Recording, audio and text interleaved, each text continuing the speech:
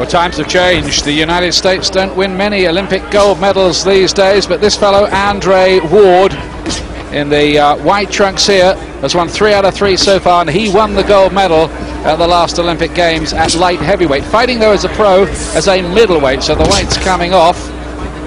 Had one stoppage win so far, and in with Ben Aragon in the black trunks here, fighting out of Billings, Montana, which is horse whisperer country, if my Hollywood recollections are right. Well, the first thing I like about Ward is what you've just mentioned. Uh, boxes amateur at light heavyweight and comes down two weight divisions. So this proves uh, the work ethic, uh, work ethic is there. He's taken this game serious. He's shed all the excess pounds. And I tell you, he's looking in excellent shape there. Good sharp start from him. Flicking out the jab. Fights out of Oakland, California, which is just across the bridge from San Francisco. Nice fast jab. Only his fourth pro outing. 21 years of age. Married with kids already. I mean, it's going to be some time before he sheds all of his amateur habits. There's some of the little moves, the the single flicking style jabbing he does now and again. Uh, he'll develop as he comes along. But uh, seems to have good reflexes, good movement. Uh, we'll find out about the power. Only one stoppage so far. Aragon, by the way, is having his eighth fight in seven months. He's won four out of seven so far, two defeats and a draw. Hasn't fought anybody much, but he's never been stopped. Can Ward do that?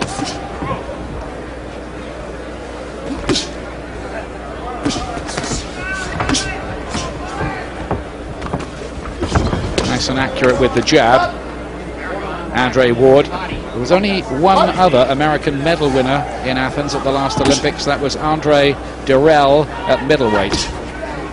When you think back to 1984, when they had the likes of Holyfield, Mark Breland, Virgil Hill, Meldrick Taylor, Tyrell Biggs, I think Frank Tate was in that team, and a few others besides. you know, it's a worry, isn't it, for them? Yeah, yeah, it's, it's, it's amazing the, the, way. I mean, even at the, the top level, not too many actually Americans dominating these days. But uh, Ward looks uh, as though he has a bright future ahead of him, moving around nicely, just keeping this fellow under control in the, the opening round, not in too much of a hurry, picking some nice educated little shots. Just dominating behind the jab, which is a punch they don't usually give you much credit for in the amateurs, so he's uh, adapted his style a little bit for the professional ranks, wins the first round easily enough.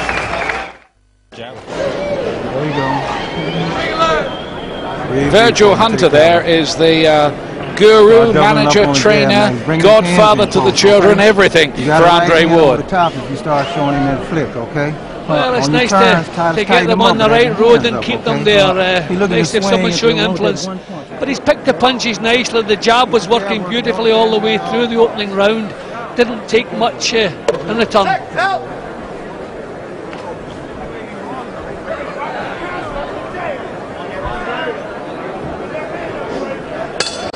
Second round here then, and uh, Olympic gold medal winner for the United States, Andre Ward in the white and red.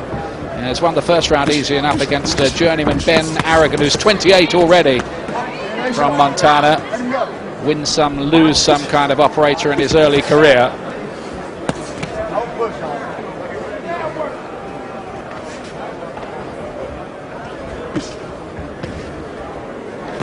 That jab is working so well.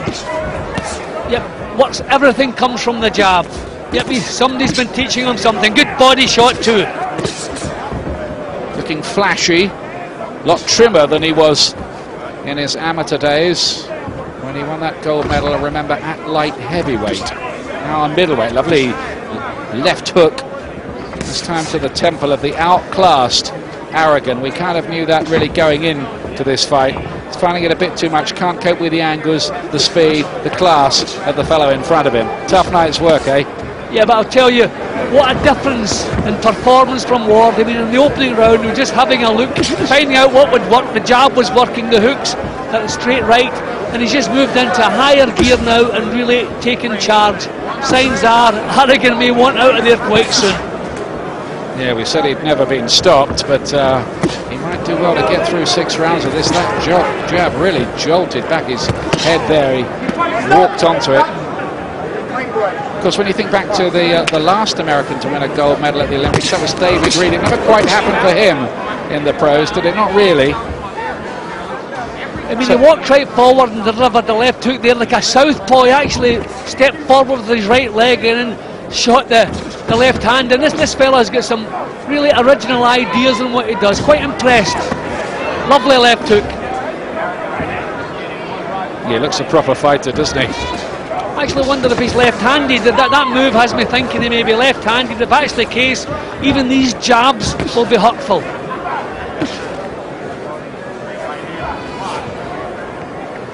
Yes, usually left-handers are southpaws, but of course uh, Andre Ward boxing out of the orthodox style. If he is left-handed, he'll have extra weight in his jab. He's feeling that jab all right, Aragon. I think all ambition has been knocked out of Aragon now. I think he's just thinking, can I survive here, earn my wages? Oh, big shot that one. Left hook, bent his knees a bit, looked a bit groggy, soaked it up. He's game and courageous, but outclassed, and the referee just might have to start taking a slightly closer look at young Ben Aragon in there at the moment. Well, it looks as though he's going to survive this round, but I wonder if the corner really want to send them back out again.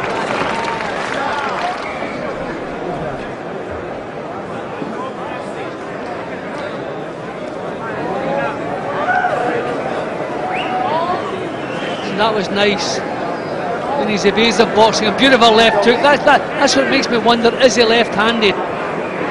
This was a super shot. Woof. See that that had the look of a converted southpaw. The, the way he stepped forward, see he sees legs changing, and bang in he goes. Lovely punch. Box! And here's round three. White trunks of Andre Ward, the uh, Olympic star. As I mentioned, David Reid, who didn't come off Keep them up. in the Keep 'em Olympics. there have been plenty who have for the United States, including Muhammad Ali and Sugar Ray Leonard, and I needn't really go on. Very accurate, can't miss Aragon, no head movement from him, defence not tight enough, uh, looked like he just slipped there. I was saying in the opening round, still has a few of his amateur traits, but uh, he's looking a lot more professional since then. I think he was just having a little look in the opening round. Uh, he looks now as though he's developing a real nice professional style. He's just pushed him down again then, but before that there was a lovely left uppercut from Ward. It looks as if he's got a bit of quality Just about turned him. to southpaw there, Ian. There Yeah. he's actually turned to southpaw. I wondered about that earlier. Yep, beautiful punch. Good time stoppage. It's over in the third round. Ben Aragon is stopped for the first time by this quality youngster, Andre Ward, of whom you will be hearing more. I like the look of that. Was an up against match tonight, and you have to take that into account. Was able to do everything he wanted, but didn't he do that with a nice, polished, classy style? Well, I didn't see anything I didn't like. This little fella did his best to stay with him, but uh, it was always well beyond him. But everything about Ward, there was sharp. Concentration was good. The power was there. All the punches. I had the feeling earlier that he may have been a converted southpaw, and I see that he's just chatting with Roy Jones, so he's keeping himself in good company. But that was impressive. This time he'd actually turned to southpaw, which I think he finds much more natural. So he's looking for the powerful shot. He wants the left hand to be doing the damage, and there it certainly did the damage there at that time. That was a beauty. Terrific performance tonight, Jim, wasn't it, from him? Yep, everything, nothing I would change. That was spot on. Four out of four for Andre Ward.